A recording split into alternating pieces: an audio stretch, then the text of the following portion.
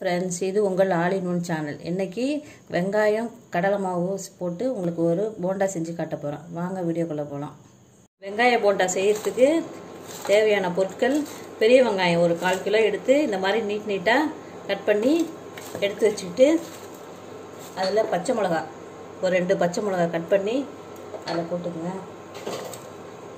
பூண்டு ஒரு நாலு பல் பூண்டை நசுக்கி அதில் போட்டுட்டு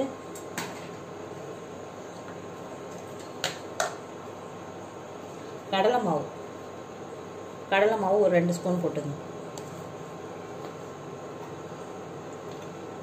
ஒரு ரெண்டு ஸ்பூன் கடலை மாவு. அரிசி மாவு ஒரு ஸ்பூன். போட்டுட்டு இதில் நல்லா கலந்துக்கிட்டு மிளகாத்தூள் ஒரு ஸ்பூன்.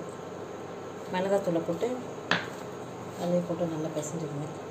தேவையான நல்ல உப்பு நான் ஒரு ஸ்பூன் போடுறேன்.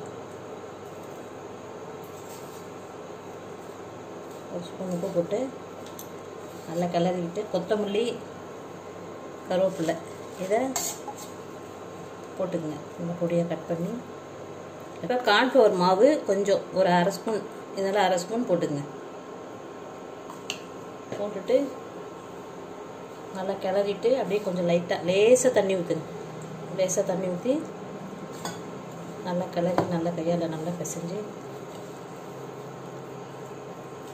இப்போ மாவு நல்லா பிசைஞ்சு வெங்காயம் மாவு எல்லாம் நல்லா கலந்து பிசைஞ்சு எடுத்து வச்சுக்கிட்டு எண்ணெயை காய வச்சுட்டு இப்போ ஒரு உருண்டையை இந்த மாதிரி எடுத்து வச்சு எண்ணெய் காய்ஞ்சதும் இந்த மாதிரி ஒரு உருண்டையை எடுத்து அப்படியே கொஞ்சம் அழுத்துற மாதிரிட்டு இல்லை போடும் உங்களுக்கு வேணுங்கிற சைஸில் உருண்டையாக போட்டாலும் போட்டுக்கலாம் இல்லை நீங்கள் வந்து கொஞ்சம் தட்டின மாதிரியும் அப்படியே போடுங்க. மாவையும் இந்த அளவுக்கு ஊட்டி போடுங்க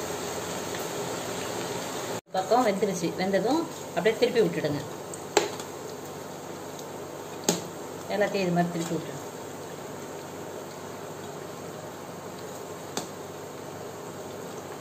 திருப்பி போட்டுட்டு நல்லா வெந்துருச்சு. ரெண்டு பக்கமும் நல்லா வெந்துருச்சு. அடுப்பில் தீயை கொஞ்சம் சிம்லேயே வச்சுக்கோங்க. வச்சுட்டு எடுத்துருங்க. இப்போ போண்டா ரெடி ஆயிடுச்சு. இது மாதிரி செஞ்சு பாருங்கள் உங்களுக்கு பிடிச்சிருந்ததுன்னா லைக் பண்ணுங்கள் ஷேர் பண்ணுங்கள் கமெண்ட் பண்ணுங்கள் சப்ஸ்கிரைப் பண்ணுங்கள் பக்கத்தில் இருக்க பெல் பண்ண ப்ரெஸ் பண்ணுங்கள்